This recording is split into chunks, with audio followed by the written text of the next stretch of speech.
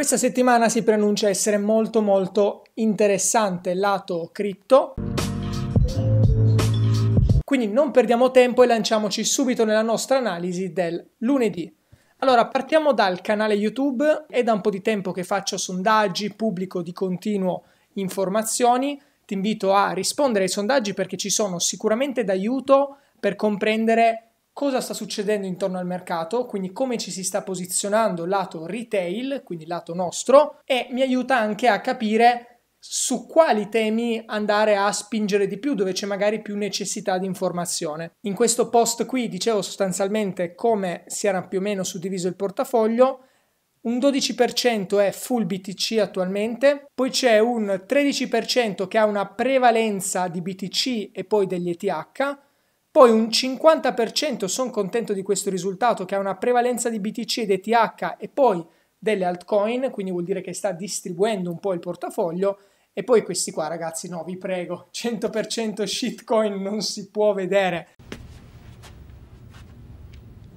No, God! No! Ci sta, è comunque per speculare, ci può stare, però vi prego, vi prego, non, non uccidetemi. Ogni volta che comprate una shitcoin, immaginatemi cadere dalle scale, quindi non comprate shitcoin. Scherzi a parte, visto che una buona parte ha in portafoglio altcoin e io tendenzialmente parlo molto di più di Bitcoin, ma perché parlo molto più di Bitcoin? Perché dà un po' il metro per tutto quello che è il movimento poi del mercato cripto, fa un po' da indice se vogliamo Bitcoin. Quando Bitcoin sale più o meno tutto il mercato sale, quando Bitcoin scende più o meno tutto il mercato scende. Quindi mi concentro su Bitcoin perché per riflesso poi viene portato tutto in realtà anche sulle altcoin. Però visto che in molti comunque avete un portafoglio altcoin e molti mi scrivete chiedendomi quali altcoin tenere, quali andare ad accumulare approfittando di eventuali cali, in questo video parleremo allora anche di altcoin. Visto che ormai sono la cosa che più interessa, vediamo su Bitcoin ETF Flow dal 7 di agosto al 23 agosto, quindi in questo bel range. Vediamo il lato iShares, quindi BlackRock, tendenzialmente sempre positivo, a parte un giorno di niente assoluto, tutto il resto è positivo. Fidelity idem, parte qualche scarico qua e là, da Bitwise, Arc in giù si inizia invece a scaricare un po', vediamo poi invece quest'area qui dove c'è un po' di accumulo. Diciamo che tendenzialmente, vabbè, Grayscale ovviamente sempre che scarica immancabili, al di là dello scarico di Grayscale vediamo qua comparire anche il nuovo ETF Grayscale dove in realtà vediamo che ci sono comunque degli accumuli, niente rispetto a quelli che sono chiaramente gli scarichi, però tendenzialmente comunque vediamo delle giornate che sono state positive su Bitcoin a livello di entrate e questo ci fa ben sperare su che cosa? Sul fatto che queste aree che abbiamo visto, andiamole a vedere immediatamente qua, queste aree che abbiamo visto sono aree interessanti per gli istituzionali e in realtà facendo un po' di chain analysis viene fuori anche che sono aree interessanti anche per le whales. Quindi questo potrebbe essere un'area estremamente estremamente interessante di supporto per il movimento di medio termine e tra poco ti spiegherò perché dico di medio termine. Qua intanto per chi se lo chiedesse siamo su BingX, ti ricordo che c'è una promo per i nuovi utenti e una promo per gli utenti già registrati. Chi non si è ancora registrato può avere fino a 5.000 dollari in bonus, bonus di trading che possono essere utilizzati per far trading ma non prelevabili. Chi invece è già registrato può avere fino a 9.000 dollari di bonus. I bonus vengono accreditati entro 48 ore dal completamento della task relativa. Esempio, deposita 100 dollari, ne ricevi altri 100, robe di questo tipo, oppure fai trading per 1000 dollari, ricevi 100 dollari di bonus, tutte task di questo tipo che vanno ad aumentarti poi quello che è il bonus. Ti ricordo c'è tempo fino alla fine del mese, quindi qua sotto ti lascio due link separati con tutti i dettagli, guardali perché è sicuramente una promo interessante che BingX ha riservato alla nostra community e che quindi ringrazio per questa promo speciale. Ora andiamo a ingrandire un po' il grafico e vediamo un po' cosa succede. Questo è un grafico giornaliero. Nel nostro grafico giornaliero vediamo che si è fatto un bel ripescaggio qua Bitcoin di liquidità e adesso è tornato su. Siamo attualmente a 63.727. Abbiamo raggiunto un picco, se non vado errato, a ridosso dei 64k. Sì, abbiamo fatto un higher a 64,9, quindi quasi 65k. Un buon recupero. Chiaro, siamo sempre su questi livelli comunque di lateralizzazione. Quello che dico sempre è finché ci teniamo sopra i 60k o 62k ci sta, cioè Bitcoin sta tenendo botta e sta facendo comunque molta fatica, devo dire, a tenere botta in questi livelli. Se teniamo queste aree è molto probabile che si vada a ritestare nuovamente i 70k finalmente, che da un po' che stavamo sottoterra e ti devo dire, io in queste fasi ho approfittato per comprare ancora un po'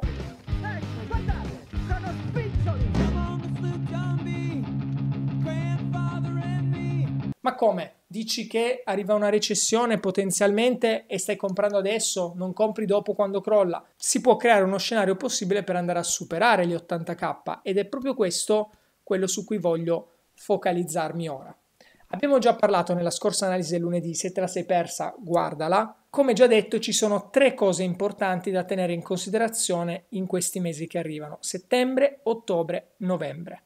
In particolare, a mio avviso, Ottobre-novembre, quindi fai un mese e mezzo, due mesi, secondo me ci aspettano estremamente interessanti. Chi è già dentro il canale Telegram, e anche qui ti lascio il canale Telegram qua sotto, è gratis, entra, gli mando delle comunicazioni più veloci, perché chiaramente non devo registrare un video, accendo il cellulare, faccio un video lampo o mando un audio o scrivo un messaggio molto più diretto. Gli ho parlato proprio sabato di ciò che mi aspetto sul mercato in questo mese e mezzo, due mesi.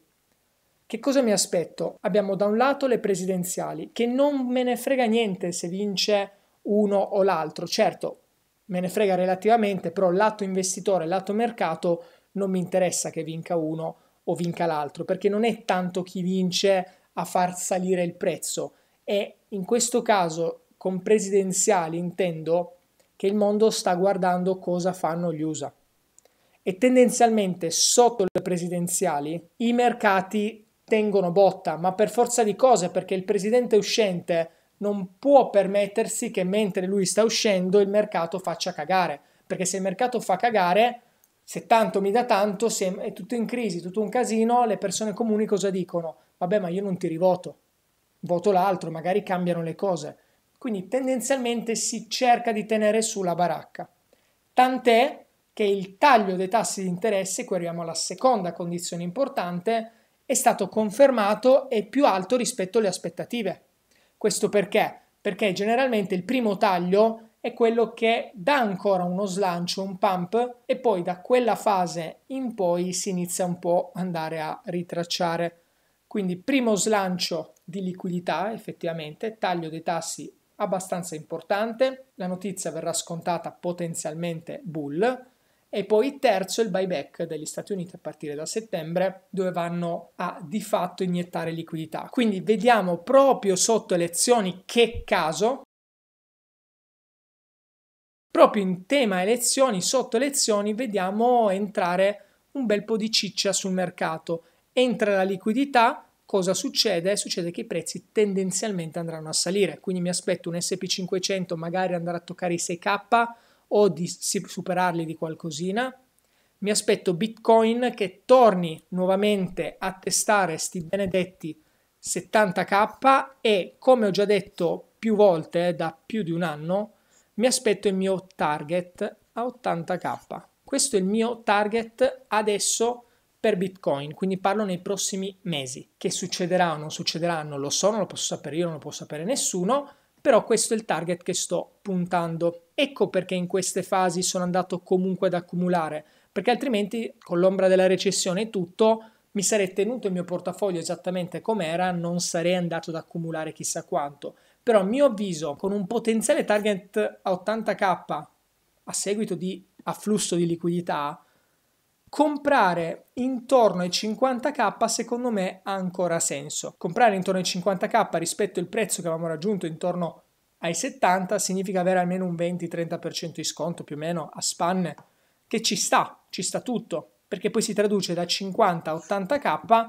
comunque con un bel gain. Ci sono 30k di gain che non sono male per unità di Bitcoin. Viceversa, che cosa abbiamo? Abbiamo un potenziale ribasso dove magari si torna a testare queste aree, cioè intorno ai 30k oppure ai 20k. Quindi ancora una volta a ribasso potremmo andare a testare o di un meno 20k oppure di un meno 30k. Come puoi vedere da qua a qua, secondo me c'è un po' di manovra. No? Noi siamo intorno ai 50k, non attualmente in queste fasi dove sono andato a ripescare, intorno ai 50k, se mi va giù a 20k o a 30k io perdo quei 20-30k, se mi va in su vado a recuperare quei 20-30k, quindi è ancora equilibrata la situazione ed ecco perché in queste fasi ho riaccumulato qualche bitcoin, come ho già detto e come ho avvisato nel gruppo Telegram sul momento esatto in cui lo stavo facendo. D'altra parte, quando è sceso sotto i 50k ho anche accumulato qualche altcoin perché era relativamente scontata, ma questo l'ho già detto nel precedente video. Andiamo a vedere un settimanale, anzi no, voglio farti vedere un mensile perché penso sia molto molto interessante da guardare. Eccolo qua. Questo mensile qua mi lascia ben supporre che ci possa essere una bella spinta necessaria per effettivamente andare a toccare sti benedetti 80k perché vediamo comunque una candela relativamente interessante, un bel calo profondo, un bel assorbimento, un ritorno e quindi siamo attualmente in quest'area che è un'area che abbiamo già visto e rivisto e rivisto e rivisto, però un'area sicuramente molto molto interessante. Qui si capisce che abbiamo avuto di lateralizzazione, se vogliamo, 1, 2, 3, 4, 5 mesi questo è il sesto. 5 mesi di lateralizzazione secondo me sono estremamente interessanti come alt, come freno un attimo per ripartire. Quindi quello che mi aspetto qui adesso è questo che abbiamo visto, un ritorno qua, magari ancora un po' di lateralizzazione, potenzialmente, potenzialmente, questo è importante a sottolineare, il fatto che mi aspetto un pump in questo mese e mezzo, due mesi, non significa che non ci possa essere un dump prima, anzi, mi aspetto proprio che ci sia un ulteriore calo, magari a tornare sui 55k, potenzialmente 50k, per andare a cancellare tutte le leve e fare un po' di pulizia del mercato prima di ripartire. Chi segue un po' i mercati sa che tendenzialmente prima di una ripartenza o comunque prima di un movimento deciso in una direzione o nell'altra si fa sempre un po' di pulizia e fatta pulizia si va poi a recuperare. Qua già vedo della pulizia in queste aree, qualcosina, però penso che ci sia ancora un po' di pulizia, si farà magari pulizia di qualche long piazzato adesso, si va giù, si prendono gli stop loss e poi pam, si riparte secchi. Io vedo questo, poi chiaramente è una mia opinione personale, per non sapere né leggere né scrivere come si dice, la cosa migliore è sempre posizionarsi long term perché long term sappiamo che Bitcoin quello che sta facendo è questo, quindi sta tendendo a salire. Di conseguenza in questa fase può essere interessante posizionarsi appunto più long term piuttosto che concentrarci sulla speculazione di breve. Altro discorso è per le altcoin. Allora, BTC lo vediamo negli ultimi 7 giorni a un più 7,44%, negli ultimi 30 giorni ancora sotto ad un 9% attualmente e da inizio anno un più 48%, un modestissimo più 48%.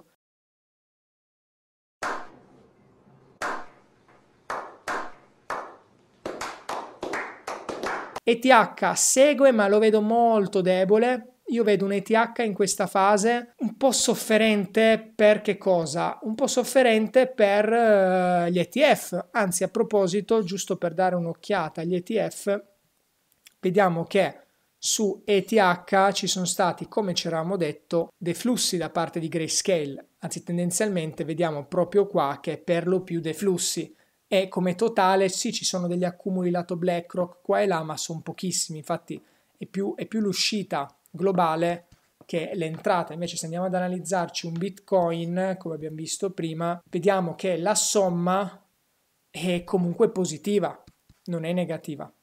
Quindi questo è importantissimo da, tenere in considerazione. Ancora siamo in scalo. Ciò non toglie che TH possa fare molto bene.